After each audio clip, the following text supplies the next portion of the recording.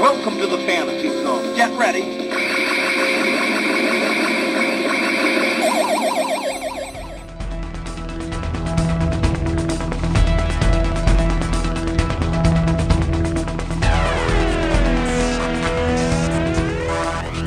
Hey up everyone, hope everyone is well and this is, well this is basically a recap video.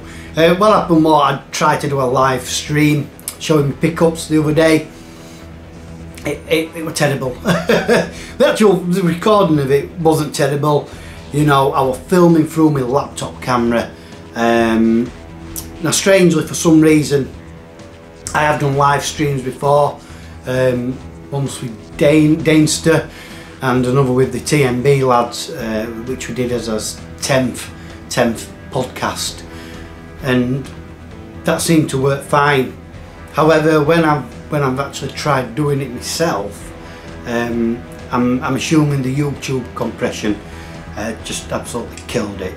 Um, it was film, it, it, the quality was shocking.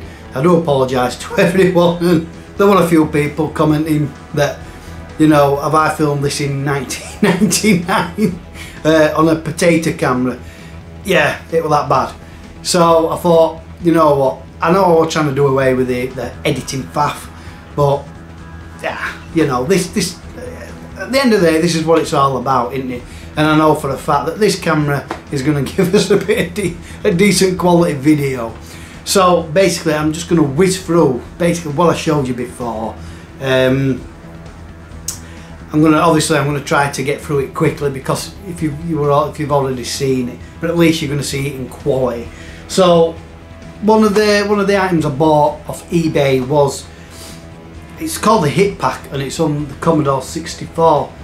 As you know, I collect the, the Silverbird range from Firebird and I saw this and it's it's quite an oddity, or at least I believe it is. It's by Prism Leisure, and it's not actually officially released by Firebird. I believe these may have bought the rights to these to these four games and released them as a separate compilation, the Hit Pack. Um, interestingly enough, is the one game I'm missing from the Silverbird collection, Cauldron 2 and this is the reason, to be honest, why I bought this. Um, obviously, I can't class that as you know as finishing my collection off. This is a completely different different item. Um, but yeah, I thought I thought it interesting. This was about eight pound ninety nine, but I really liked it. I thought, yeah, that, that that's quite an oddity. Um, it's got Ninja Scooter Simulator, European five-a-side, Turbo Boat Simulator and Cauldron 2 The Pumpkin Strikes Back. Uh, four great games on one tape and that's the hit pack. Um, I have I am actually waiting on a, another delivery of a game and it contains another four Silverbird games. I believe it's called the Action Pack or something like that. Um, it's by Prism again. But I have seen a Thriller Pack um, in the same style of this from Prism but it doesn't contain the Firebird games. It um, contains games from, from other developers, other publishers. So um, but yeah that's the hit pack and that's on tape. There were a few um, items on disc. I'm not really bothered about collecting disc uh, it's the tape version that I'm after anyway that's that Next, uh, this is a cash generators pickup for the lovely sum of 50 pence. Cash generators in Pontefract are getting shut of all old generation um, games and they are selling them off really cheap. A lot of them are 20 pence, Wii games are 20 pence, PS2. Uh, well, to be honest, there's, there's, hardly any left because I bought them all. Um, and the Xbox 360 and the PS3 vary from 20 pence to 50 pence. Now I got this, though I don't collect for Xbox 360 because I have never played a Forza game and I've seen them and they look absolutely incredible and I thought you know what I'm going to buy this. Uh, my intention is to play it at some point and see, you know, just how good the Forza series is. Um, I've heard a lot of good things about them, so definitely uh, interested in playing this. It's complete. So a bargain for 50 pence. Um, this is, right, let me sort this out. I am collecting a subset for the PS2 uh, by Blast. Blast is, it's actually Mastertronic, formerly Mastertronic. Um, they did about 15 games for the PS2 and like the likes of Phoenix, uh, the rubbish. the games were not very well received in all honesty. This is Top Gun and to be honest I'm doing pretty well with this sub subset. I'm very nearly co uh, completed it. I've got a couple more bids on eBay for some of the other titles and I reckon I'm down to the last few then to get hold of. The beauty of it is there is always um, a game on there from the list. It's not like any of them are rare or hard to get. They're all on there.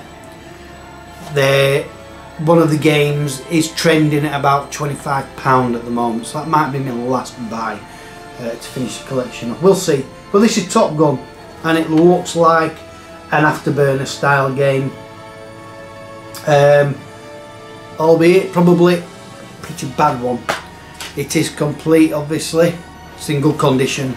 So that is Top Gun as part of the Blast subset, and Blast did actually did a lot of kiddie games, kiddie based games from uh, TV shows and stuff. And this is one of them. This is Bob the Builder. Um, it's more of a it's it's well it says the EyeToy uh, camera use is required so obviously little kids can interact with the game if you like and be part of the game I suppose as you can see from those those screenshots yep it's complete obviously it's complete. I wouldn't have bought it if it wasn't um, but yeah it's in good condition. So like I said um, I'm picking those off uh, really well at the moment the blast titles. Here's the fail. Now you, you probably remember from the attempted live stream. It's this Sunset Orange PlayStation 4 DualShock controller wireless controller.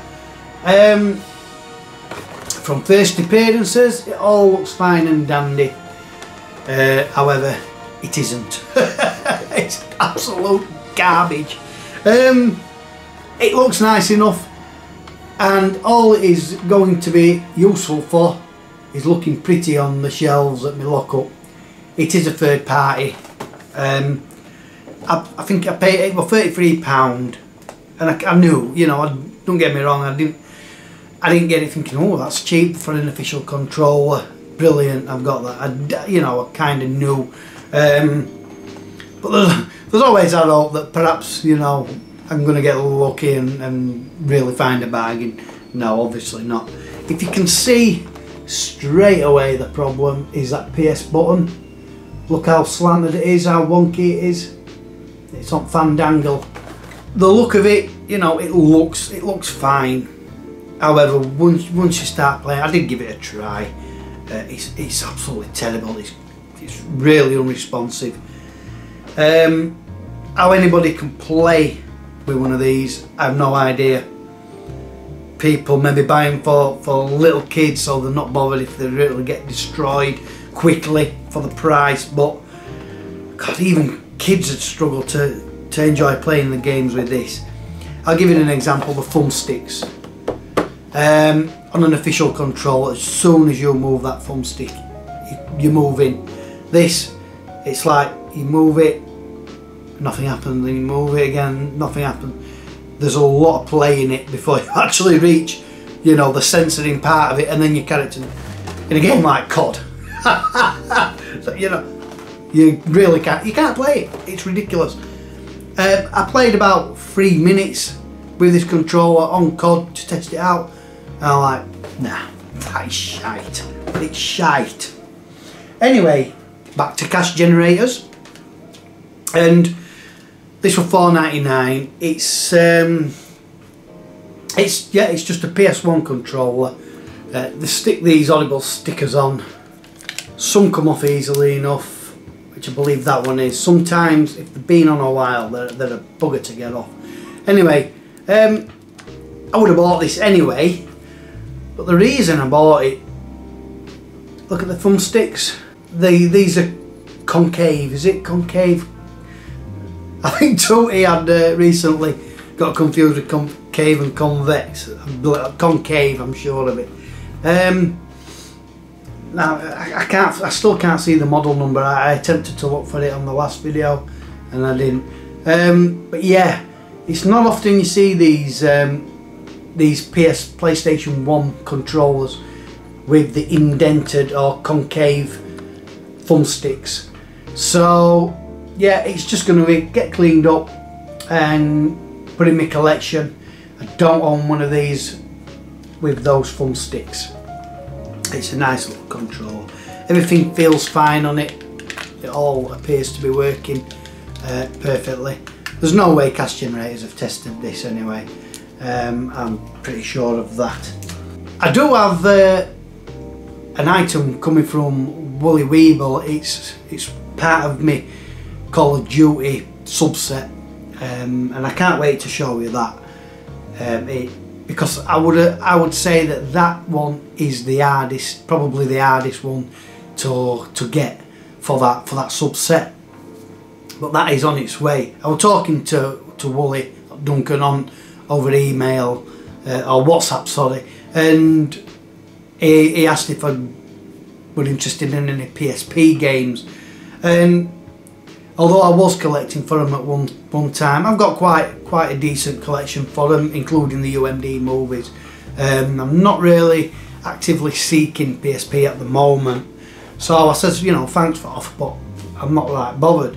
And I got to work, and the following day, and I got a phone call from one of the employees who actually were on his day off, and this says are you still collecting old systems and what have you? I says, yeah, yeah, yeah.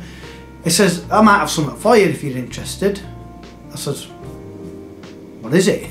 so he said, it's a PSP with 17 games. I says, right.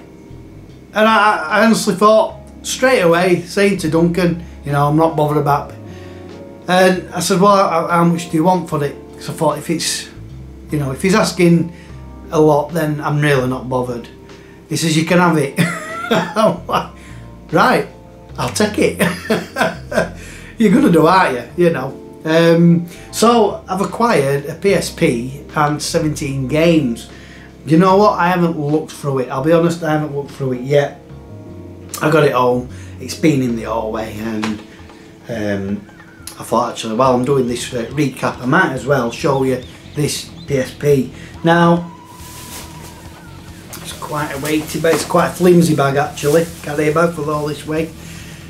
It's in this, I've got to be honest, it's a horrible looking case. I know it's a protective case, but I, think it's ghastly. Um, don't even know how to open it up.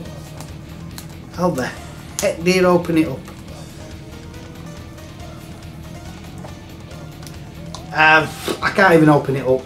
So, but yeah, it's in this case.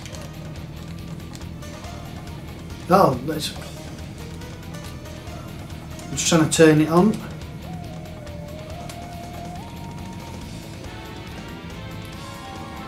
It, it, has turned on but there must be a way of getting into this. I just heard it I just heard it bleep the start up. I'm going to turn it off obviously because um, I can't get into it. No idea. Is that the hinge there? That must be the hinge. Oh, I mean, I mean, I mean, right. Yeah, yeah, that covered the screen. So that's that's the case. I'll be honest, I don't like that. Um, not going to do anything with it. I'm going to clean it up and then, and then uh, but I, I, won't be using that. Um, let's try again.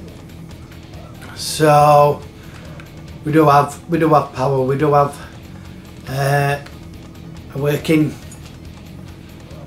We do have a working PSP. Um, I'm sure they want to give me a, a good one anyway. Um, the model number is it's a 3003 if that means anything to you it means nothing to me. Uh, is there anything in the uh, what's that? Now there's no game inside it but obviously uh, we've got the charger. So we can charge it up. So let's get on to the games and stuff or whatever. Films maybe. So we've got Dynasty Warriors this this is a battlefield area system, so it's not actually like the one-on-one fighter, is it? I think it's more of a um, tactical strategy based one. I don't know. We've got Lego Indiana Jones. I'm assuming that they've all got the manuals and stuff because uh, I imagine Simon does take care of, the, of his stuff. He is a gamer. He is a gamer or not particularly a, there's no instructions in that. Everybody's golf, I think is more um, current generation. We've got Ridge Racer, I nearly said Rogue Racer then. Ridge Racer. Actually looks really, really good that on from a screenshot. I've never played this on the PSP, but it does look nice. We've got Pursuit Force. Um, maybe a Chase HQ type type of game.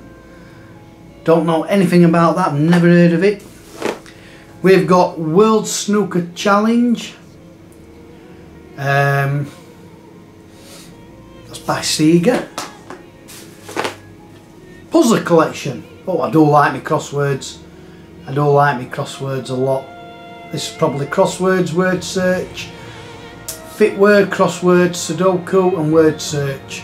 Um, crossword being favourite there. Uh, we've got World Poker Tour. I think I've got this already on PSP.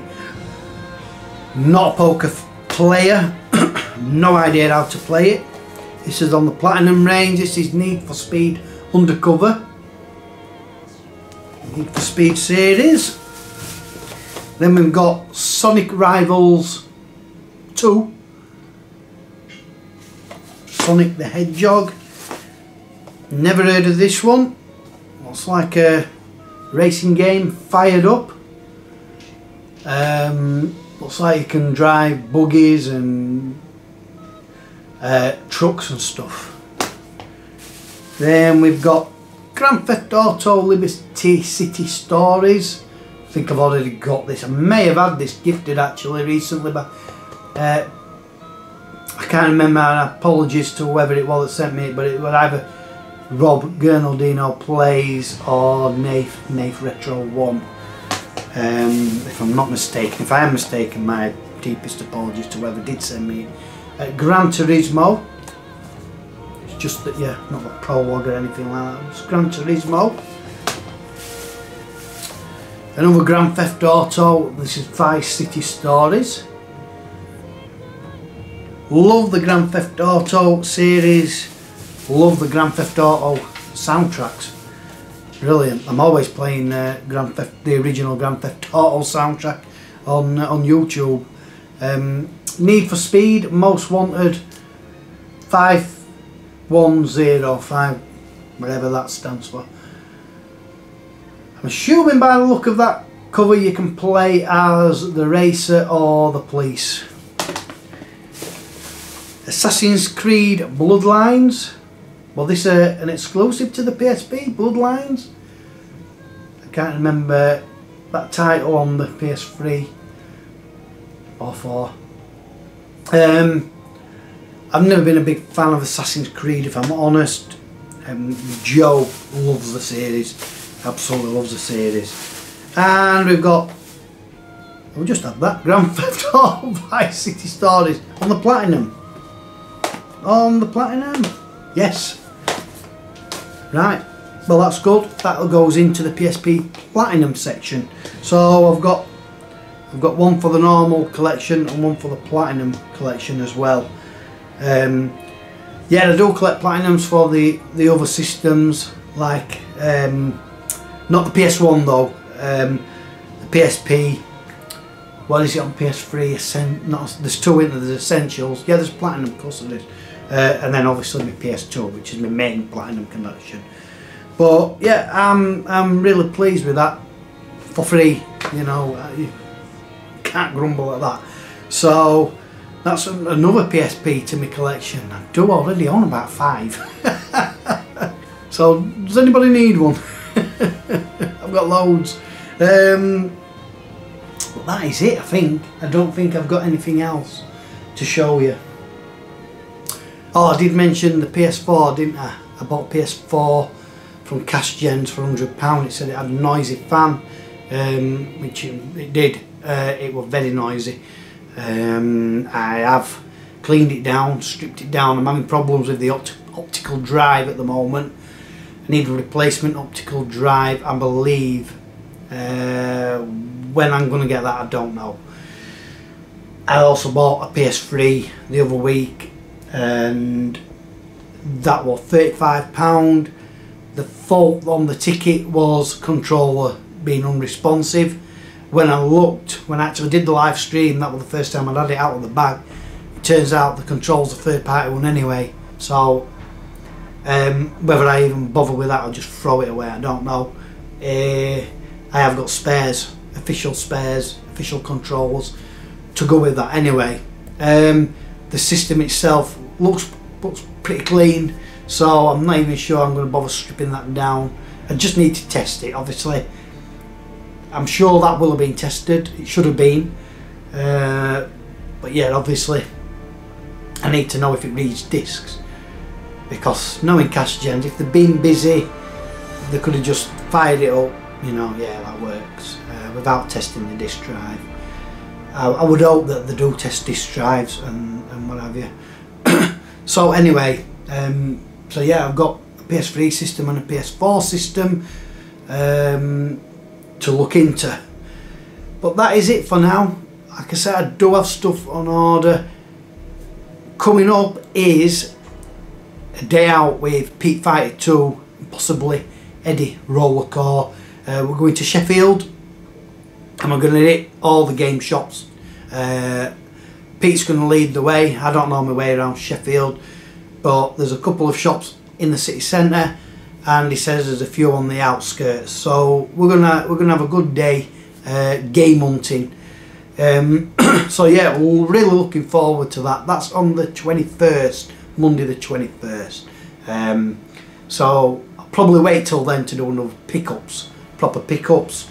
Um, but in the meantime, you probably will see maybe one or two more Music Magpie, one for sort of two for Joy videos. But anyway, that's the that's the that's the pickups recap probably as long as a normal pickup video to be honest but but I did have a, a, an extra bit to show you so anyway until the next pickups video um, thank you for watching and see you later.